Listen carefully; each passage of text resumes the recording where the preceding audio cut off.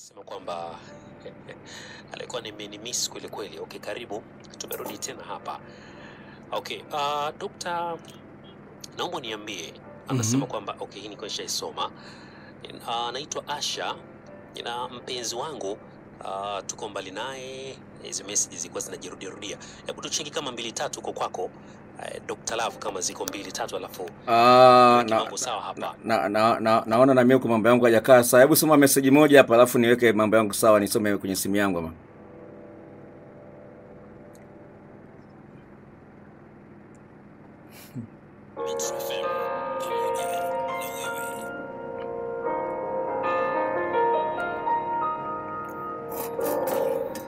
Uh, dokta, hii ni serious kweli? Ehe, na mwanaume wa miaka saba, ndio. muda mwingi anaishi kazini, nyumbani kwa mwezi anaonekana mara nne tu. Dokta anasema ananipenda, tumezaa watoto wawili, anawahudumia vizuri tu, ila tangu hapo awali nagombana, nagombana na wanawake. Nikiamua kuachana naye hataki kabisa. Nifanyeje dokta? Kwa ningependa nikuambia wazi kabisa, kuna wanaume ambao wanapenda kuwatumia wanawake kwa faida zao wenyewe, na vile vile hapo hapo wanapenda kulinda heshima zao. Anajua kwamba mkiachana kwake itakuwa ni aibu kali sana. Kwa hiyo ni mwanaume ambaye anakutunza tu kama mke wa kiwanda cha watoto. Kwa hiyo unamlelea watoto na kila kitu. Sasa katika mazingira kama hayo, umeshatishia kuachana naye, lakini yeye ame, amegoma.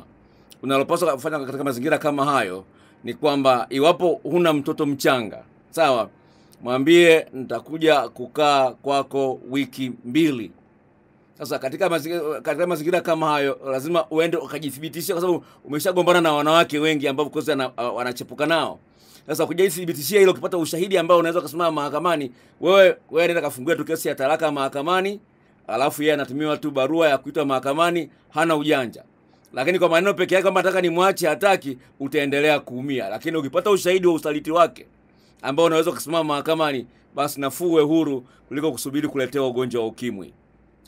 Okay, uh, hii ni hatari kweli kweli. Yaani muda mwingi mtu anakuwa kazini tu, yani nyumbani kwa mwezi mara nne. Ah, huyo tayari amepata amepata mchepuko mmoja wenye, wenye, wenye utamu wa kupita kiasi. Anamkeep busy.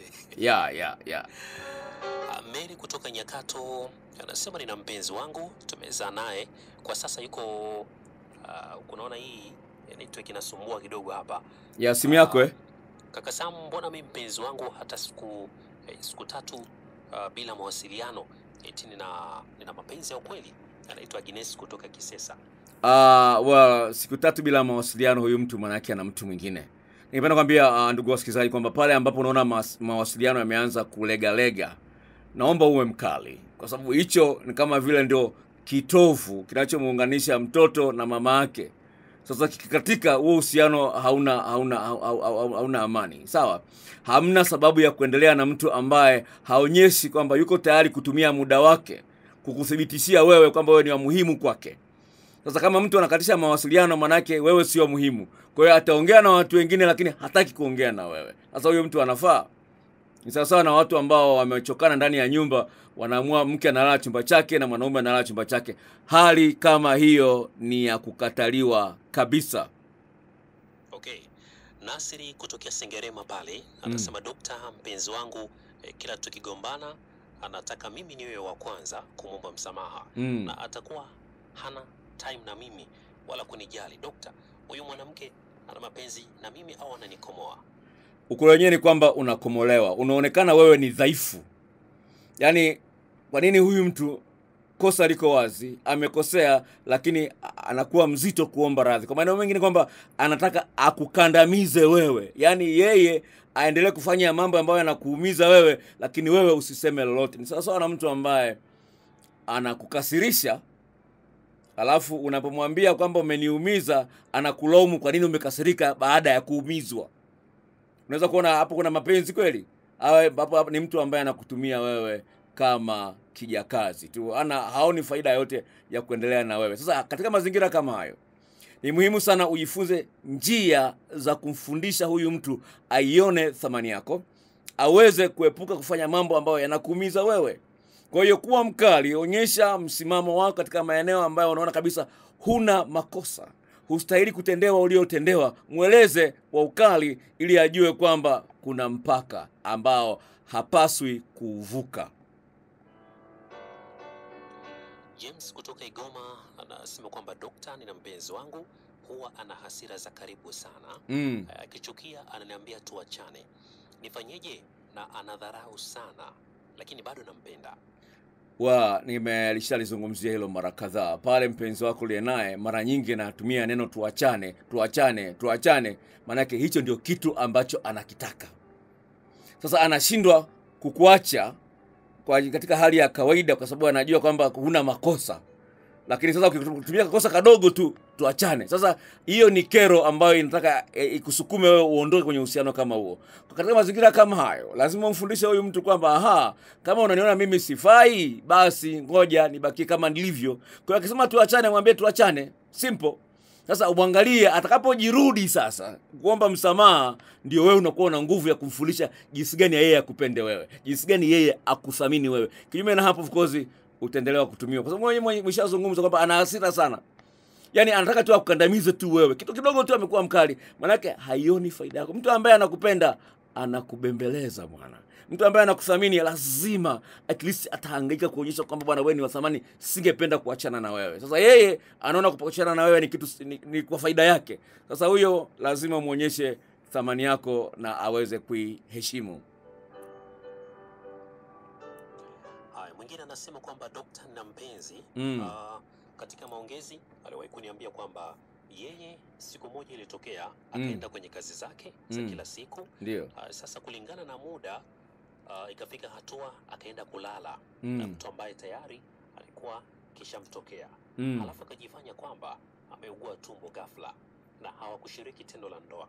Hivi inawezekana kweli ikawa hivyo? Ah, kwa, kwa kweli ningependa nizungumze wazi kabisa. Kosa tu la yeye kwenda kulala naye usiku kucha, hilo ni kosa peke yake, hilo peke yake ni kosa. Kwa hiyo siwezi nikaamini kwamba hamjashirikiana tendo la ndoa, sio rahisi.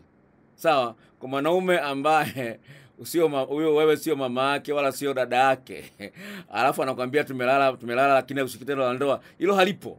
Sawa, unless kama wewe ni mama yake, imetokea dharura, me- me- dharura hali kama hiyo, kwa sababu mlale kitanda kimoja, sawa, au ni dada yake tumbo moja. Lakini watu ambao hamna undugu wote wa damu, mmelala pamoja, anakuambia hatujafanya tendo la ndoa, napenda nikuambia sio hali nzuri. Kwa hiyo cha msingi hapo, jitambue kwamba umesalitiwa. Ah, kwa hiyo kumbe dokta, tuseme hakuna uwezekano wa mwanaume na mwanamke marafiki kulala pasipo kushiriki tendo la ndoa. Hivi. Uwezekano huo upo. Sawa. Mimi mwenyewe binafsi nishai kulala na mwanamke ambaye sina undugu wake wa damu undugu wa damu lakini niliomba ngoma ya kubwa. Sawa. Sio sikuomba niliomba. Sawa. Niliomba lakini baada ya kuomba huyu mtu akaniambia oh jamani sijisikii na nini na nini na nini nilimwacha lakini nilifanya hivyo kwa sababu sikuwa na malengo naye. Nilikuwa nataka tu burudani. okay. Sawa unaona? Sikuwa na malengo nilikuwa nataka burudani. Kwa hiyo nilala naye kuanzia usiku mpaka asubuhi sawa. Lakini siku, siku, siku, ngoma sikula sawa. Lakini cha msingi nachozungumza hivi katika hali ya kawaida kwa mtu ambaye una malengo naye akianza tabia za kufanya vitu kama hivyo aenda kulala na mwanaume mwingine je kama angelazimishwa akabakwa ingekuwaje? Kwa hiyo lazima mtu aonyeshe anathamini uhusiano wako na aepuke ma, mazingira hatarishi sawa Ninapozungumza mi nishai kulala na mwanamke bila kucheza naye ngoma ya kubwa na hakuwa mwezini ni kwamba kwa sababu sikuwa na malengo naye sikuweza kuweza kupress zaidi sikuwa na malengo naye ilikuwa kwa ajili ya burudani tu na afu kwa sehemu kubwa alikuwa amejileta yeye mwenyewe sawa Oh, anataka urafiki na nini na nini. Sasa amekuja mpaka jioni, akaniambia nikamwambia siulale. Yaani kama kama vile siulale. Akasema sawa. Aka- Tukaa. Sasa katika kumwomba na mimi sikutaka kumbembeleza bembeleza sasa kwa sababu gani? Nikicheza naye ngoma ya kubwa, baadaye angening'ang'ania. Unaona? Baadaye angening'ang'ania niko no, angepata kisingizio. "Ah, Sasa wewe ume, umenivua nguo zangu tu umenichezea tu nini na nini nini. Hali kama hiyo. Kwa hiyo cha msingi ni kwamba sikuwa na malengo nayo. Lakini kama ni mke wangu au ni mpenzi wangu akiniambia kitu kama hicho, siwezi nikaamini kwamba hakuchezewa hakucheza ile ngoma ya kubwa. Siwezi. Kushiriki? Ah, inaelekea smart boy hiyo wewe huwezi. Changamoto no, no, ni hivi. Ngoja kwambia, ni hivi. Ni kwamba pale unajua ndio naona namshukuru Mwenyezi Mungu ni kwamba kwenye akili yangu nina gia zangu sawa. Kuna gia ambazo nikiziweka hata mwanamke angefanya nini aweze kanisumbua, hata angekuwa na uzuri kiasi gani sawa. Nikishaweka hiyo gia mwanamke anisumbue, hata angekuwa na uzuri kiasi gani, yani siwezi, hawezi kunisumbua akili yangu sawa. Yani hizo gia ninazo ziko kwenye akili zangu sawa. Wanawake wengine wanaonisikiliza wanajua kwamba wamenitongoza nimewakatalia, hilo nalijua. Kwa hiyo wengine wananisikiliza hapa sasa hivi. Kwa hiyo msingi nachozungumza hivi pale kwa sababu kwa sababu huna una huna malengo naye, yani tayari akishasema bwana, mimi sitaki, tayari ile gia unaiweka pap, basi simgusi tena, nalala mpaka asubuhi. Hisia zinapotea kabisa. Eh, zinapotea kabisa. Kwa sababu gani? Hisia zinakuja pale pale tukaanza kulambana lambana kidogo, na busiana mm, baby mm, I love you baby mm, bana, hisia chaji zinakuja sawa, lakini ukishaacha kwa hilo zoezi chaji haziji Ah, Lakini pia inategemeana pale kama kama kama labda pengine hamja- hamja- hamjatoa nguo. na Ah, sikumbuki kama tulikuwa tumetoa nguo au vipi, lakini hamna. Siwezi kat- siwezi katoa nguo kadi sitegemee kukitumbukiza kile kitu mahali pake.